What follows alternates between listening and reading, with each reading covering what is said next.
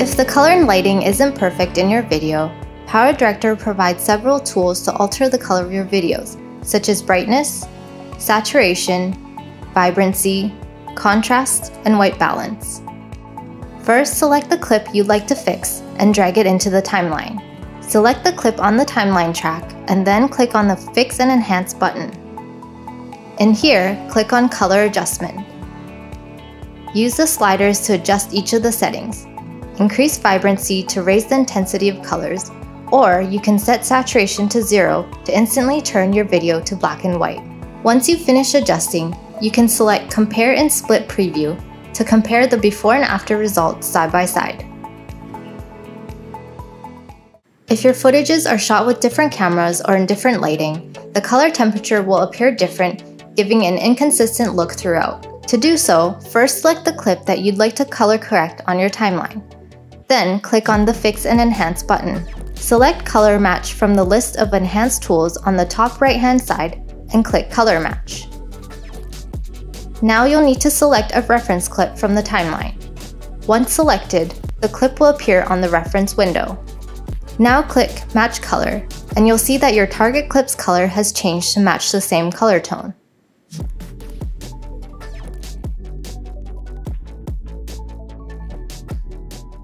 LUT or Lookup Table is an industry standard color preset that can alter the color of your video by applying the LUT preset with just one click.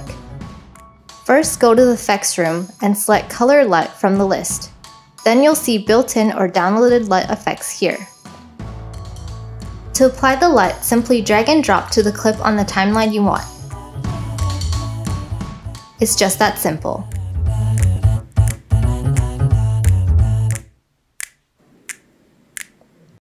Have you ever seen the movie Sin City, where they use an editing technique in which there is only one single color in the movie, while leaving other parts in black and white?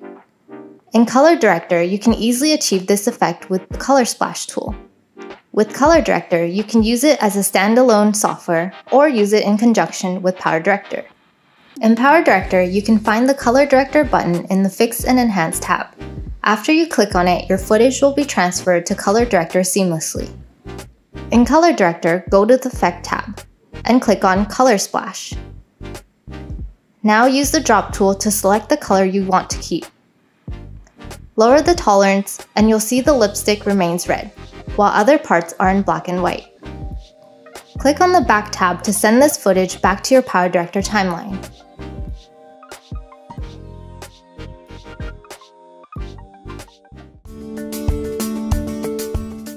Sometimes you want to alter the color of an object to another, such as the outfit color of this dancing woman that changes throughout the clip. In ColorDirector, under the Effect tab, click on Color Replacement. You can use the drop tool to select to change the color of the woman's clothing.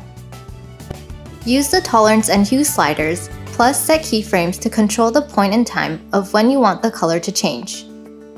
With just a few simple adjustments, you can turn a normal video into something amazing. And that's it for today's video. Thanks for watching. I hope you enjoyed it and will create some stunning videos with these tips. If you like our videos, make sure you subscribe to our channel and turn on notifications to get notified about our latest video releases.